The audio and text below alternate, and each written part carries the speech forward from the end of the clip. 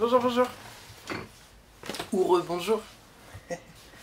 Donc, la révolte. Albert Camus, l'homme révolté. On va continuer à traiter le sujet de la révolte avec Camus en utilisant l'homme révolté. On va aller dans le grand 5 qui s'appelle La pensée de midi.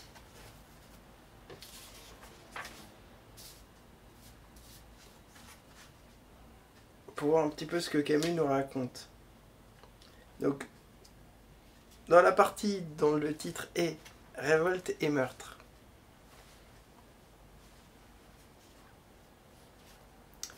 Camus va nous encore nous parler de la révolte. On est parti.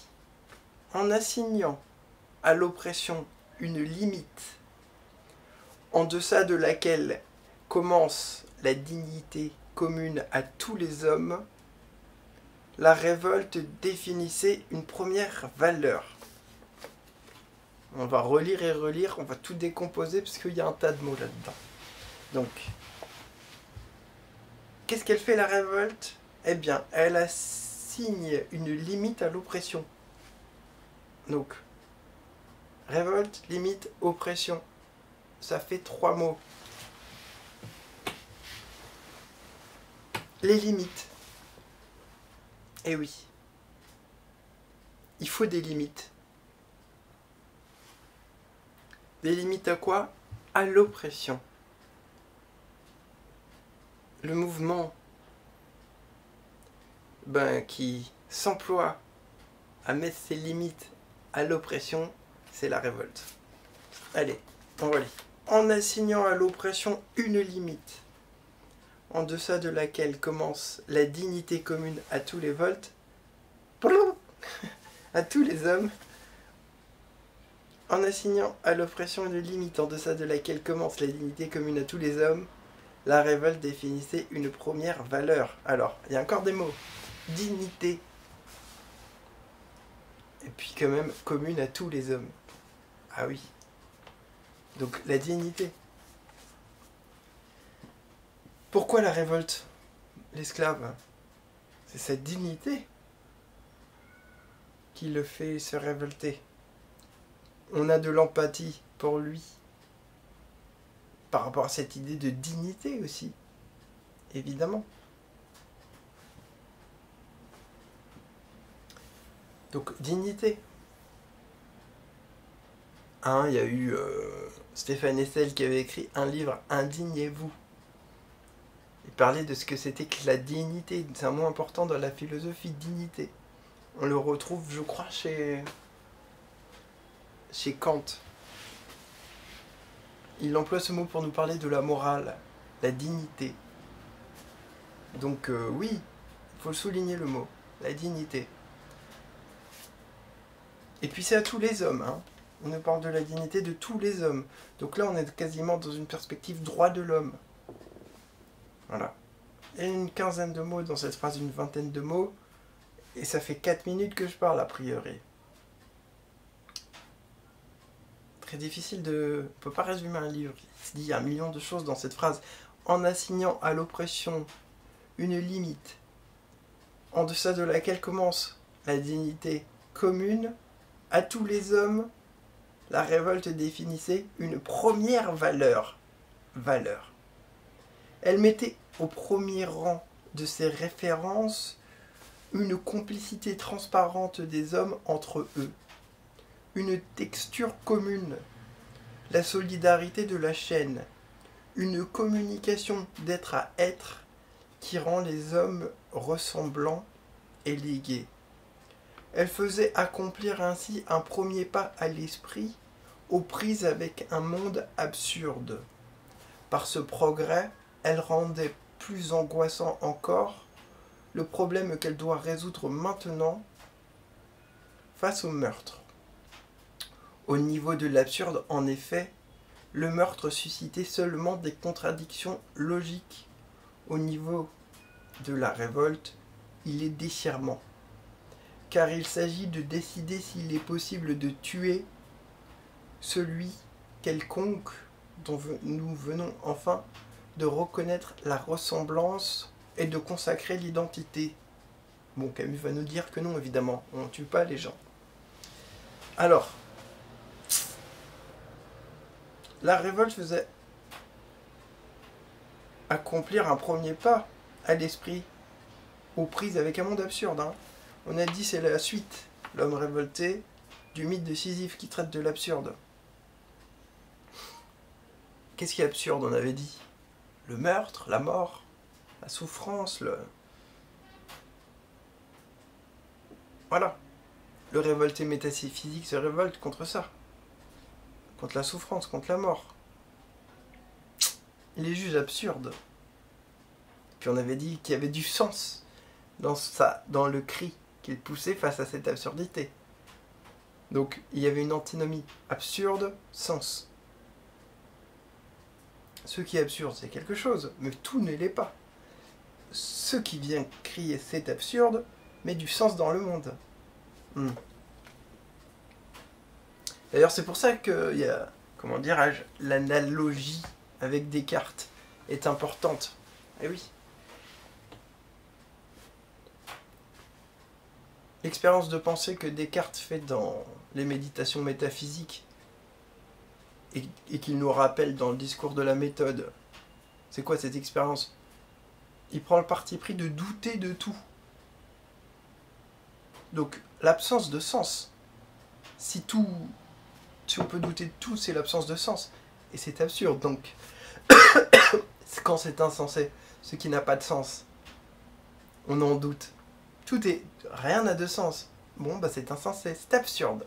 Donc l'analogie que Camus fait avec Descartes est pertinente. Et puis, premier principe de Descartes, euh, il y a une chose dont je puis douter, je suis. Cogito ergo sum. Je pense donc je suis. Camus nous dit, eh bien oui, bah nous, notre premier principe, c'est je me révolte, donc nous sommes. Donc, comment dire? Je me révolte face à l'absurde. C'est pas le c'est pas l'affirmation où je suis le premier principe. Ici c'est tiens bah ça ça me révolte. Je trouve ça absurde. C'est-à-dire puisque je trouve ça absurde alors je suis révolté. Eh bien oui premier principe encore c'est analogue. On est sur un problème du sens du doute de l'absurdité. Et Camus résout ça différemment. De Descartes. C'est-à-dire, Descartes, il le résout par la certitude de lui, et donc, bon, bah, le monde existe, il n'est pas une création de ma pensée. Allez, faisons évoluer notre philosophie, réfléchissons à autre chose. Ah, bah tiens, effectivement, je ne produis pas le monde, j'ai faim, j'ai soif, j'ai froid, j'ai sommeil. Je vous laisse aller voir la vidéo. Et Camus, là, c'est. Eh ben oui, bah. C'est quoi? On va voir ça. Donc, le doute, la vérité, on avait dit sur Descartes, le doute, la vérité, le cogito, c'était ça. Là, on est sur Camus, l'absurde, l'absurde, le doute, la vérité, on n'en a pas trop parlé encore, et la révolte, qui vient se substituer au cogito. Donc, la révolte faisait accomplir un premier pas, à l'esprit aux prises avec un monde absurde. Par ce progrès, elle rendrait plus angoissant encore le problème du meurtre qu'elle doit maintenant résoudre. Allez. Bon, on a dit... Euh, c'est pas une question pour Camus. Il nous pose la question, mais il va dire non, le meurtre, non. Alors, on en est où?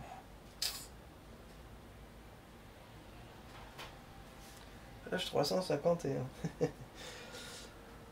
en logique, on doit répondre que meurtre et révolte sont contradictoires. Qu'un seul maître soit en effet tué, et le révolté d'une certaine manière n'est plus autorisé à dire la communauté des hommes dont il tirait pourtant sa justification. Si ce monde n'a pas de sens supérieur, si l'homme n'a que l'homme pour répondant, il suffit qu'un homme retranche un seul être de la société des vivants pour s'en exclure lui-même. Lorsque Caïn tue Abel, il fuit dans les déserts.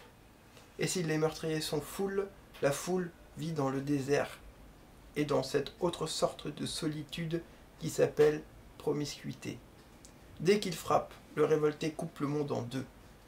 Il se dressait au nom de l'identité de l'homme avec l'homme, et il sacrifie l'identité en consacrant dans le sang la différence.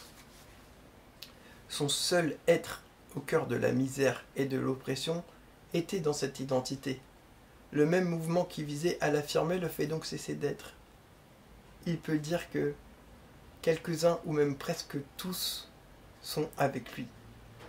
Cogito ego sum. Je pense donc je suis. Je suis donc. L'affirmation de Descartes c'est je suis. L'homme qui tue, le révolté qui tue, eh bien, le même mouvement qui visait à l'affirmer, le fait donc cesser d'être. Je me révolte. Donc nous sommes.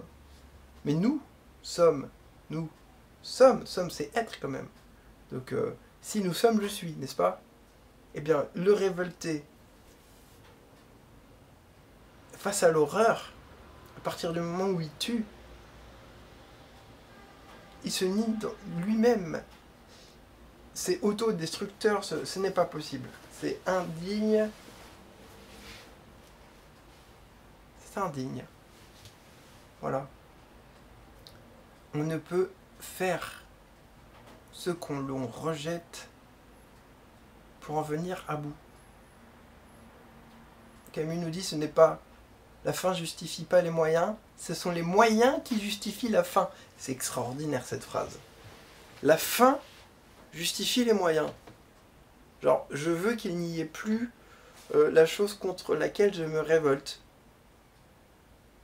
C'est ça la fin. Eh bien, les moyens, je tue. Ah, ce serait ça la fin justifie les moyens? Et Camus nous dit non. Ce sont les moyens qui justifient la fin on a mis fin à un système oppressif sans tuer personne, eh bien, ce sont les moyens, la façon dont on l'a fait qui justifie la fin.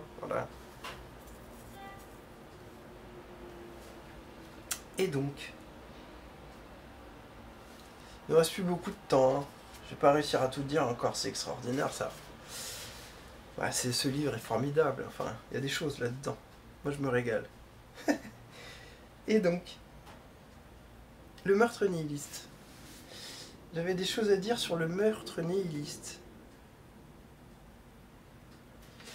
La révolte. C'est la partie qui s'appelle le meurtre nihiliste. La révolte n'est nullement une, une ré...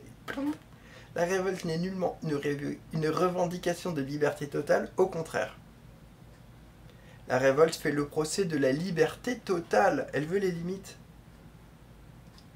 Elle conteste justement le pouvoir illimité qui autorise un supérieur à violer la frontière interdite. Voilà. C'est là où Camus va nous parler de la fin des moyens. J'en ai déjà parlé. je saute des passages dont je voulais vous parler. C'est terrible. Je voudrais finir cette vidéo parce que je ne peux pas en faire une de plus. Bon, écoutez, j'arrête la vidéo. Je réfléchis, est-ce que j'en fais une ou pas? On verra bien. Allez, merci pour votre attention, etc. Partagez, likez, blablabla. Hein, vous connaissez YouTube. N'hésitez pas à vous abonner, à créer un compte YouTube, c'est extraordinaire. L'algorithme YouTube va vous faire des propositions ciblées. Alors faut pas avoir peur de ça, moi je trouve ça génial. YouTube me fait des propositions eh ben, elles vont dans le sens de ce qui m'intéresse. Donc, il me rend service. C'est un bel outil de développement. N'hésitez pas à créer un compte pour ensuite euh, vous abonner. Allez, merci beaucoup.